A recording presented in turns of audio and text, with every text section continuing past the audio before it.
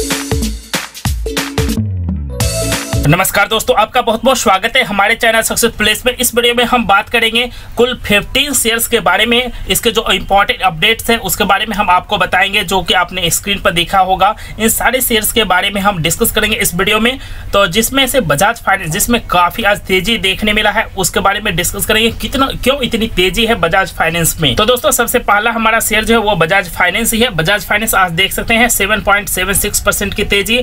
Five days में देख लेते हैं। तो फाइव डेज़ में देख सकते हैं 17.66 परसेंट की तेज़ी है कुल। 17.66 परसेंट मतलब पाँच दिन पहले भी कोई इन्वेस्ट किया होगा तो उसे सेवनटीन परसेंट का रिटर्न मिल चुका है। वहीं वन मंथ में बात करें तो वन मंथ में आप देख सकते हैं बजाज फाइनेंस 33 परसेंट की तेज़ी।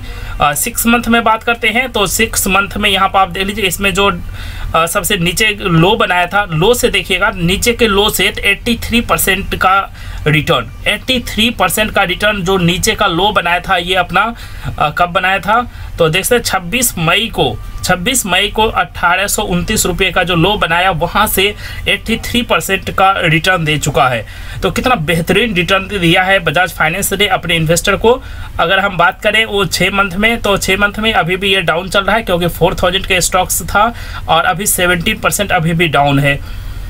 उसके बाद वन ईयर में देखिएगा वन ईयर में भी ये थर्टी फोर मतलब जो अभी प्राइस है, इसी प्राइस पर था एक साल पहले।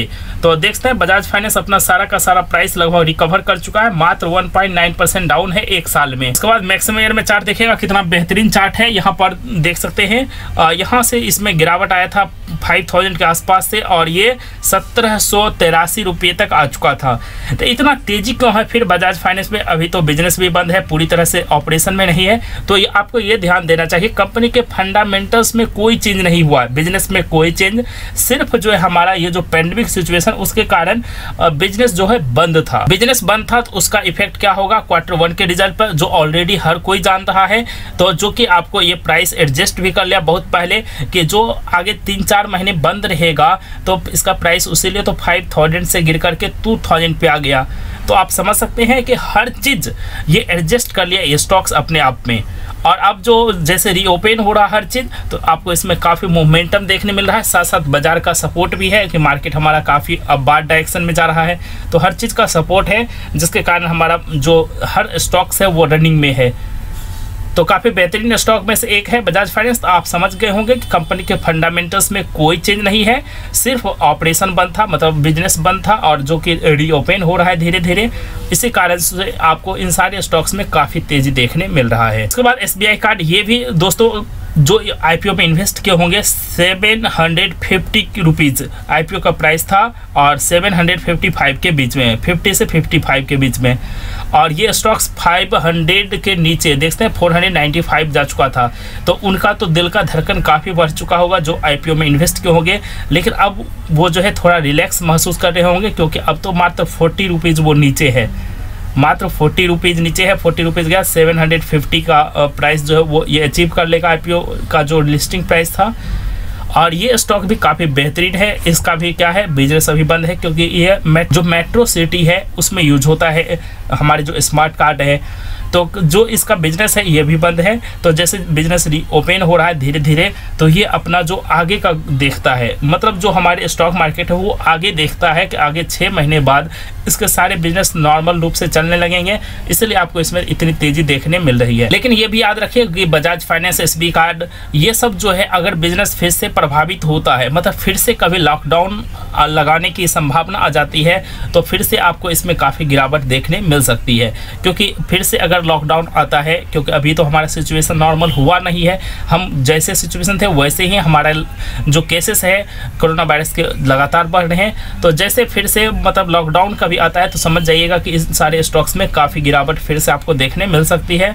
और फ़िलहाल ये सारे स्टॉक्स रिकवर कर चुके हैं अपने प्राइस तो ये स्टॉक्स था, ये भी काफ़ी बेहतरीन रिटर्न दे चुका है। देखते हैं फाइव का जो लो बनाया था, वहाँ से आप देखिएगा तो रिटर्न देख सकते हैं थर्टी मतलब फोर्टी का रिटर्न दे चुका है इन्वेस्टर को।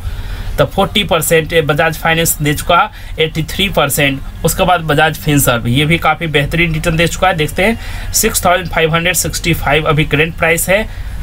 आ, ये भी अपना जो लो बनाया था वो देखते हैं 3985 का। यहाँ से काफ़ी ज़्यादा ये मोमेंटम दिखा चुका है।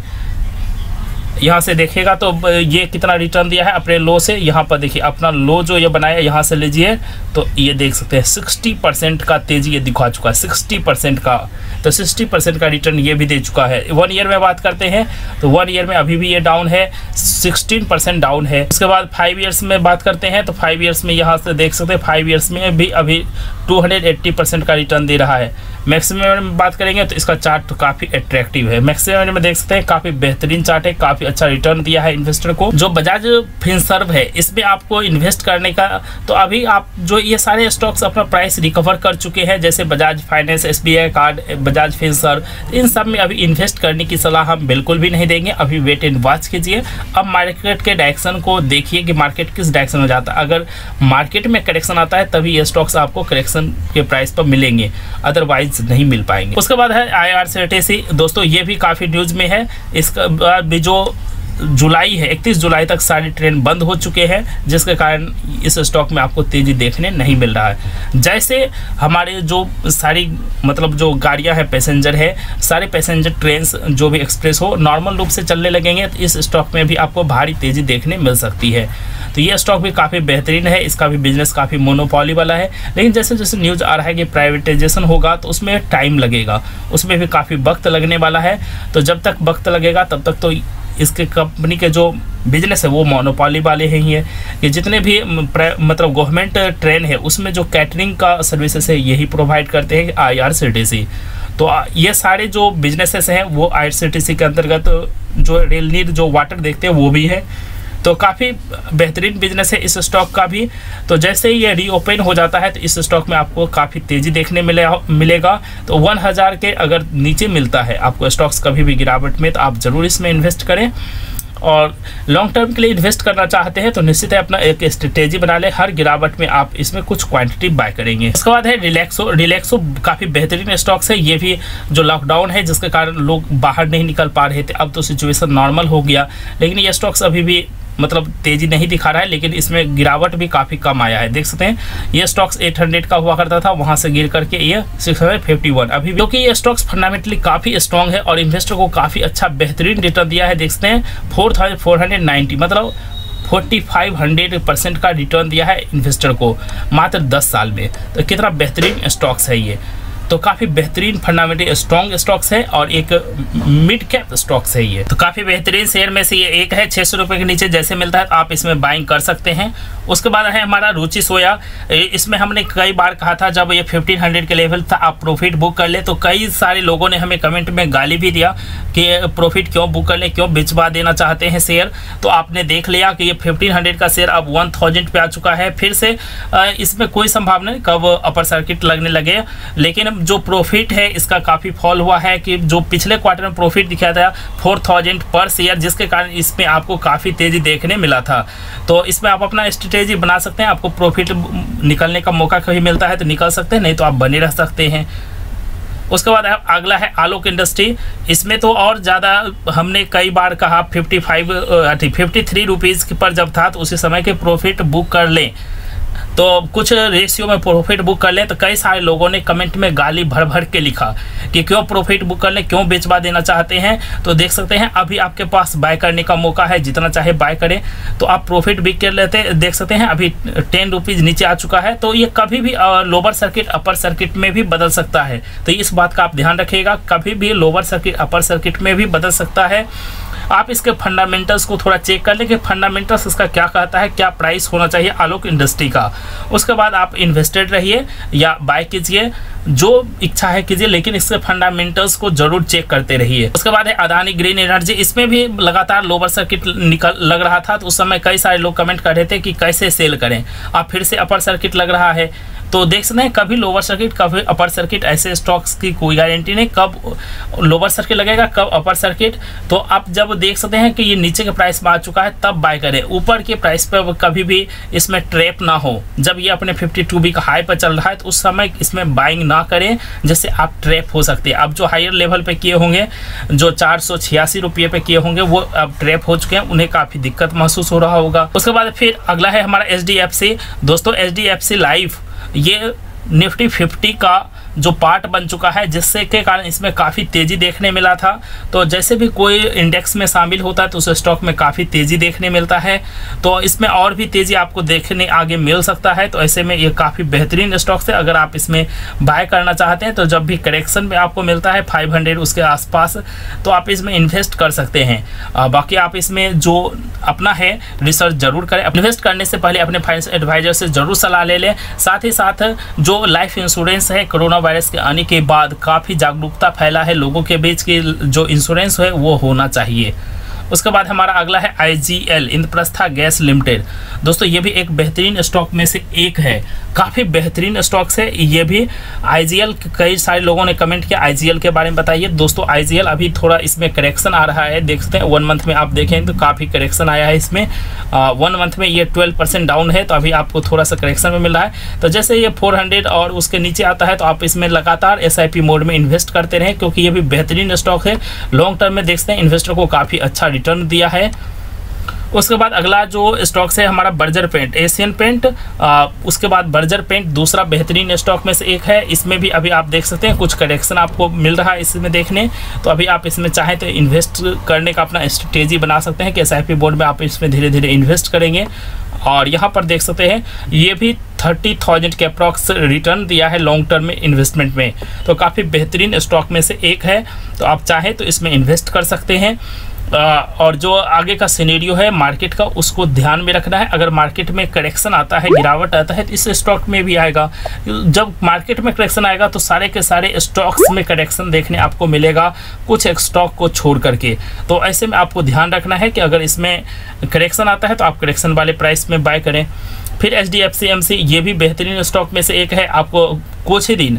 हमने इसमें बताया था, जब ये twenty four hundred twenty five rupees के आसपास था तो इसमें जिन्होंने भी बाइंग किया तो अभी अच्छा प्रॉफिट में होंगे। ये स्टॉक में देखते हैं, काफ़ी ज़्यादा करेक्शन आया था, जब इसमें पैंडमिक सिचुएशन कारण गिरावट आया था।